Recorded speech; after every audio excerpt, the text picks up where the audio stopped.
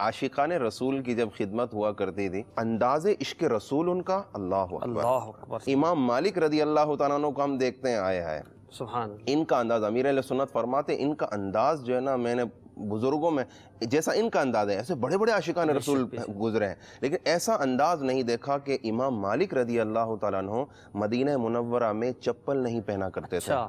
اور کبھی گھوڑے یا اونٹ پر یا گھدے پر سواری نہیں کی کہ میں اوپر ہو جاؤں گا سرکار صلی اللہ تعالیٰ علیہ وآلہ وسلم قبر انور میں تشریف فرما ہے ہائے ہائے۔ تو اب امام مالک رضی اللہ تعالیٰ کو دیکھیے کہ وہ رفع حاجت کے لیے بھی مدینہ منورہ سے باہر تشریف لے جائیں۔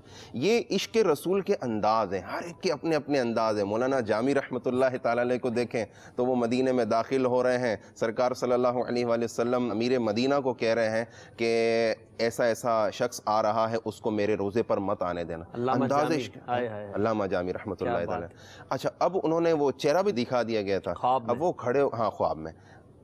کھڑے کھڑا کر دیا گیا خود بھی کھڑے ہو گئے اور جب وہ آئے ان کو پکڑ کے جیل میں ڈال دیا گیا۔ سرکار صلی اللہ تعالیٰ علیہ وآلہ وسلم نے دوبارہ کرم فرمایا خواب میں تشریف لائے کہا یہ میرا عاشق ہے۔ میں نے یہ نہیں کہا تھا کہ تم اسے پکڑ کر جیل میں ڈال دو قید میں ڈال دو یہ میرا عاشق ہے یہ اپنے ایسے اشعار لکھ کر لایا ہے عشق کے ایسے انداز ہیں اس کے ایسے اشعار لکھ کر لایا ہے اگر وہ میری بارگاہ میں حاضر ہوا اس نے مجھے سلام کیا وہ اشعار پڑھے تو مجھے اپنا ہاتھ باہر نکال کر جو نا جواب دینا پڑے گا۔ اللہ اکبر عشق رسول کے آپ انداز دیکھیے اعلیٰ حضرت کی طرف جاتے ہیں پہلا دن زیارت نہیں ہوئی دوسرا دن زیارت نہیں ہوئی۔ ایک کلام لکھ دیا وہ سوئے لال ہزار پھرتے ہیں، کوئی کیوں پوچھے تیری بات؟ رضا تجھ سے شیدا ہزار پھرتے ہیں۔ اب یہ شیدا ہے یہ ہم نے محبت میں شیدا کہا ہے۔ نہیں تو اعلیٰ حضرت نے یہاں کتے کا لفظ استعمال کیا ہے جو ہم محبتاً استعمال نہیں کرتے۔ اب یہ دیکھیے یہ شعر لکھا اور سرکار صلی اللہ تعالیٰ علیہ وآلہ وسلم نے اپنا دیدار انہیں کروا دیا۔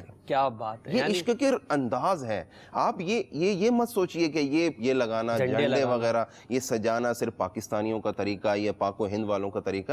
آپ دنیا میں نکل کر دیکھیے ایسے ایسے انداز میں عرب لوگ نعت پڑھتے ہیں آپ کا آپ کو رونا بھی آئے گا خوشی کے آنسو بھی گریں گے عشق رسول حیرت بھی۔ اور حیرت بھی ہوگی عقل کو تنقید سے فرصت نہیں عشق پر اعمال کی بنیاد رکھے